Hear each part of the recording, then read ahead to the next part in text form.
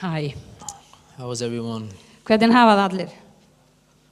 Okay, sorry for my, my wonderful outfit. Uh, ég byrði ykkur afsaka þetta dásamlega, þessi dásamlega föt sem ég er í. I just came straight from work. So. Ég kom beint um vinnu.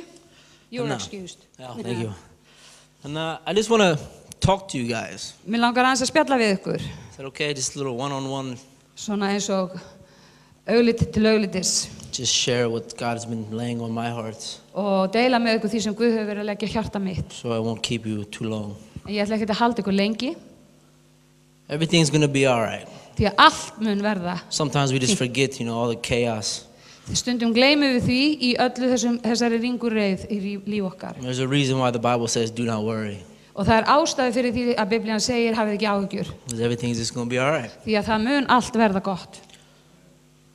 Just, you know, I continue throughout the, the week. I've just been ref- looking back from just last year. Síðasta vika hefur fór alveg í það ég er búin að vera stöðut að líta tilbaka á síðasta ár. and all the mistakes I did. Og all mistökjum sem ég gerði, I was just thinking, you know, I don't, I don't deserve this. og ég hef verið að hugsa að ég á þetta ekki skilið. I don't deserve the goodness of God. Ég á ekki skilið gæsku Guðs. Honestly, we don't deserve it. Og í raun e- eigum við ekkert okkar það And skilið. that's just how great He is. Það, það, það stór er hann. From exactly this time, this date, from being homeless, getting off of heroin, Á þ- akkurat þessum degi fyrir árið síðan var ég he, án heimilis og var að koma af heroinni. and now here today, you know, Og nú er ég hér í dag just completely blessed. Er algjörlega blessaður. It's, it blows my mind. Það er rauninni er algjörlega eins og sprenging í huga mínum. I just, I can't comprehend it. Ég næ því alls ekki. From, I was blessed with a new job this month. Og Guð blessaði mig með nýri vinnu í þessu mánuði. My wife and I have been praying for a new apartment. We got it today. Og kona mín og ég við höfum verið að byggja um nýja íbúð og, og við fengum hann í dag. It's everything just falls into place og allt er að falla í skorður. when you are made alive in Christ. Þegar, þegar þú ert, ert já, lífgaður við í Kristi. I just want to read a scripture that was on my heart. Mér langar að lesa vitningaveð sem að var á hjarta mínu. Ephesians 2. Í Efesusbrifinu 2. Just want to read it. Yeah, what verse? Just two. 2, 2, 3. As for, me. Þér voru eitt sinn dauður vegna afbróta yður og synda sem þér lifðuð í samkvæmt aldarhætti þessa heims. Að vilja valdhafans í loftinu. Anda þess sem nú starfar í þeim sem ekki trúa. Við lifum fyrrum allir eins og þeir í mannlegum gindum vorum, þá lutum við vilja holdsins og hugsana vora og vorum að eðli til reyðinar börn alveg eins og hinnir. As for you, you were dead in your transgressions. Eins og þið voru dauðir vegna afbróta yður og I synda. was completely dead, Ég var algjörlega dáin. just dry. Ég var bara dauður. Didn't want to live, Ég vildi ekki lifa. even though I, I believed in God. I believed in Jesus. Ég trúði á Jésu og But you know, jafnvel þótt það væri. when, when I first got, you know, saved, Og þegar ég fyrst frelsaðist, at a very young age, þá var ég mjög ungur, growing up, var að va- þroskast og vaksa. people would ask me, why do you keep doing this and that and this and this and messing up? En þá fannst mér eins og drótti var að spyrja um akkur er þetta alltaf að gera mistök hérna og gera þetta sama hérna. Og, And in my mind, it was just, I'll say, it's hard to obey God. og í huga mínu var ég með að þeirra afsakan eða það er erfitt að hlýða Guði. Has anybody been there? It's, it's just Ef hard to do einhver- it. Það er virðist vera erfitt að framkoma það sem Guði er að. Sometimes you just don't fully want to submit. Og það er bara stundum eins og þú viljir ekki algjörlega gefast. And I just would tell him, I, I just, I can't. It's too hard to listen to his voice. Og ég sagði stundum það, ég get það ekki, það er of erfitt að hlusta á rödd þína. And that was just the conviction in my heart telling me it was wrong. Og samt á samviskan að segja mér þú ert rángur. And just recently, I was just thinking, it's not hard. Og stu, núna fyrir stuttu þá var ég að hugsa, þetta er alls ekkit erfitt. It's actually so simple. Í rauninni er þetta svo einfalt. In just the past three months, Þessi síðastu, síðastliðinu þrýr mánuðir, I finally just put Christ in front of everything. þá tókst mér að láta Jésús fram fyrir allt. I don't care how much money I got. Mér er alveg sama hvað mikla peninga ég átti I don't care, you know, where job I'm working. og eða hva, við hvað ég var að vinna. I just I didn't care what people thought about me. Mér var sama hvað fólk hugsaði um mig.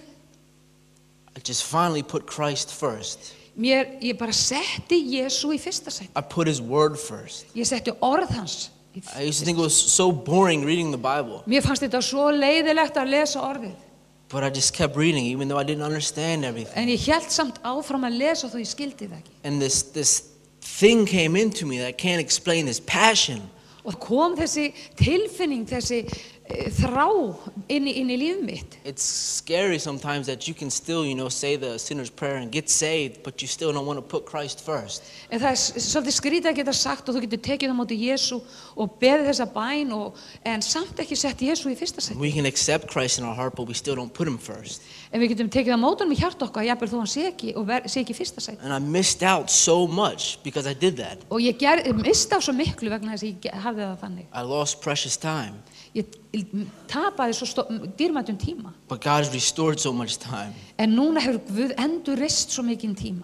And when I just start putting him first and getting my alone time with him and made sure that was a priority, Og núna þegar ég á minn tíma með honum og gæti þess að það sé nummer eitt, and I would choose God every I would wake up, all right, all right, God, I choose you today. Today, Oh. this is yours. You just take it. Whatever happens, happens. ég bara núna hverjum einasta mótni þegar ég vakna þá segi Jésús ég vel því í dag, það er alveg sama hvað gerist, ég vel þig.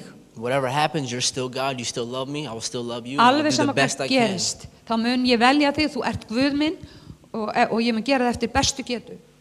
It's just effortless change. Það er eins og sé áreinslu laus breyting. Everyone wants to change, right? Allir vilja breytast er það ekki. Even though how perfect, the most perfect person in the world always has something they can change. Jafnvel fullkomnasta manne- manneski heimunum hefur eitthvað til þess að breyta. You can always go higher. Þú getur alltaf ge- farið hærra. There's always more every day with God. Það er alltaf eitthvað meira til í Guði. I want to get to that place with God where nothing will shake me. Ég vil komast á þann stað í Guði að það mun ekkert skekja mig. And it's right here. Og það er akkurat hér í orðinu. Simple as that. Eins auðvitað og það er. Effortless change. Algjör áreinslu laus breyting. We all have a story. Við öll erum með sögu. I don't know what your story is. Ég þekki ekki þína sögu. I don't know what you walked through, Ég hef ekki, við hef ekki hugmyndum þar sem þú hefur gengið í gegnum. what your addictions are. Hverjar, eh, a- a- hverju þú hefur ánýttast. An addiction is addiction, whether it's drugs or Eh, Það skiptir pornography, engu hverju þú hefur ánýttast hvort sem er eiturlif eða eh, Whether it's vín eða hvaða það er. food, Eða coffee. matur, kaffi. Addiction's addiction. Bara á- ánýttast er bara þú ánýttast. That was my biggest Fíkn. thing. Addiction. Það, fíkn er, það var mitt sem ég glimti við. But I finally put the word first. En að lokum hafði ég vitað að setja orðið fyrst. I could have drugs right in front of me, honestly, in my hand, and I could say no to it. Ég hefði getað haft það fyrir fram að mig og sagt nei. And to me, it's that's a big, big step because usually if there's a pill in my hand, it ain't gonna last two seconds. I'm gonna eat it. Uh, sko, uh, því að það var þannig að þegar ég þurfti ekki annað en að segja okkur að töflu fyrir fram mig þá var ég búin að borða hana. En núna vil ég himneska hluti. So God. Mér langar svo vera svo, það nálátt honum, ég heyri röddans. Ég vil, ég vil geðjast föður mínum. Mér langar að lifa því til fullnustu. Mér langar að sjá líf breytast. I want to raise my daughter in the right ways of the Lord. Mér langar að, uh, uh, já, leiða dóttur mín og, og leiða hana á þeim vegi sem að er drottins. I just want Him. What? I just want Him. Ég meina bara þrái hann. And right now, I just, I feel like God was speaking to me that God is trying to speak to all of you in so many different ways. Guð er að reyna að tala við okkur öll á mismunandi hátt. You're not going to hear an audible voice sometimes. Þú heyrir ekkit endilega svona á, heyrilega röddu. God speaks to me in ways so different every day. Uh, Þegar ég, ég heyri honum á svo mismunandi hátt, I just feel like you, God wants me to tell you mér finnst að Guð vilja að ég segi við ykkur, open up your eyes. opniðu augu ykkar. God's trying to speak. He is speaking to you. Hann er að tala til ykkur og er að reyna að ná til ykkar. You think that God's not talking to you or God's ignoring your prayers. Þú heldur að Guð sé svona, vil ekki hlusta bænir ykkar. But sometimes if we would just shut up and stop doing the talking and just listen, Ef við hefum stundu vitaði bara þegja smá stund og hlusta, God will direct you. þá mun hann leiða.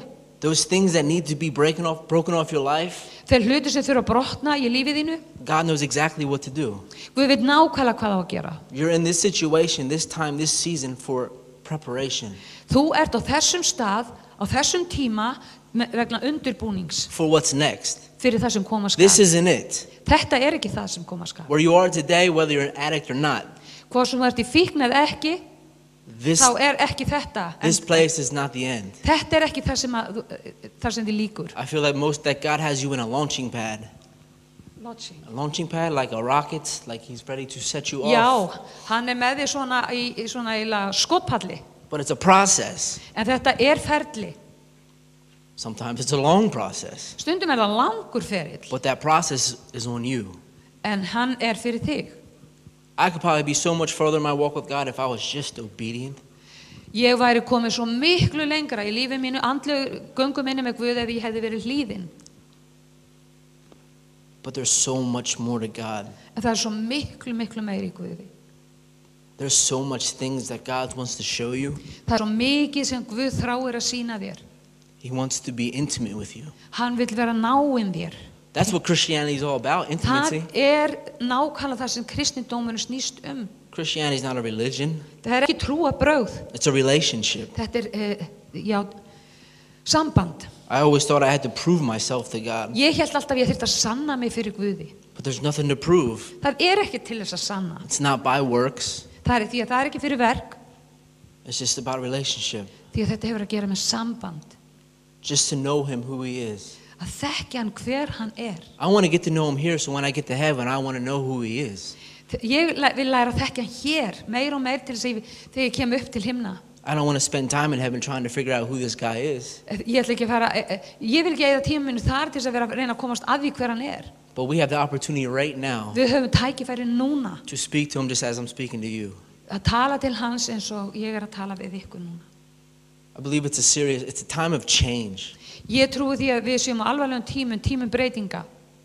God is doing things. Guð er að gera, hann er að framkvæma hlut. He's moving. Hann er, hann er á ferð. I know He is. Just because I know He's doing things in my life, but I know He's doing things in your life. Ég veit hann er að vinna í bæði lífi mínu og þínu.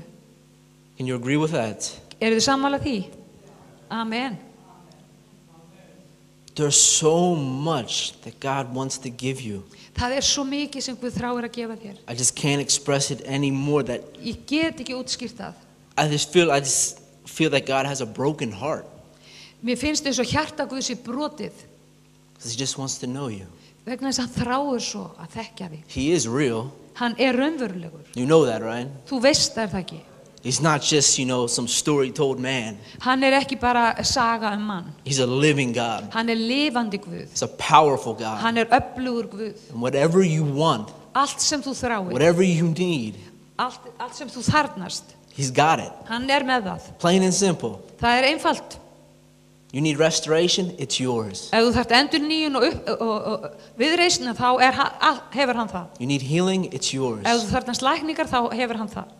You don't have to wait for it, you just take it. Þú þarft ekki að býða eftir því, taktu það. That's what faith is. Það er trú. Faith is now. Trúin er núna. Faith isn't past tense Hún er ekki það sem liðið er. or later. Eða eitthvað tíma setna. That's the wonderful thing of God. When I need something, I can just go to Him. Like, God, I need Það er this. það sem er svo dásamt við Guð. Ef ég þarnast eitthvað þá getur ég komið það strax til hans. Beða hann um það Just strax. like my job, I was having a hard time finding a job. I woke up one morning, Uh, Þegar ég átti erfitt með að finna vinnu og ég vaknaði einn morgunin I had enough, I got frustrated. og ég var svona búin að fá nóg. I said, I want a job now. I want one Og ég today. sagði, Guð, mér vantar n- vinnu núna. Contacted the guy, he said, come in tomorrow, I have an interview. Og ég hafði samband við einn mann og hann sagði, kontu í viðtal. Next day, he said, you're hired. Heyrðu, næsta dag þá var ég þá var búin að ráða. That's how powerful God is. Það, þann, svo öflugur er hann. But he won't push you to do it. En hann, hann íti þér ekkert. He's not going to force you to do anything. Hann þrýsti þér ekkert. Hann er God's ekkert a að þinga gentleman. þig. Hann er svona herramaður.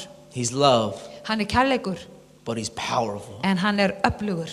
Freaking powerful. Hann er rosalega öflugur. He's a man Hann er maður that loves us sem elskar okkur. and wants the best for us. En hann vill að við, við það besta fyrir okkur. I want the best for you. Ég vil að þið fáið það besta. We deserve the best. Við eigum það skilið að fá það besta. Think of it as like this Hugsaðum við á þennan hátt. someone told me, if Jesus was here right now, Eh, Einhver sagði við mig ef að Jésús væri hér nákvæmlega núna.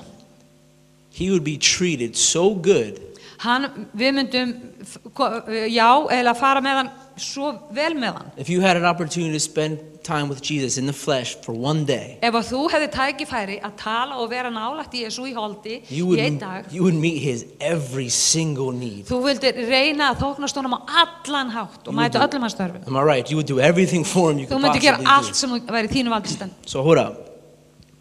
Jesus lives in me.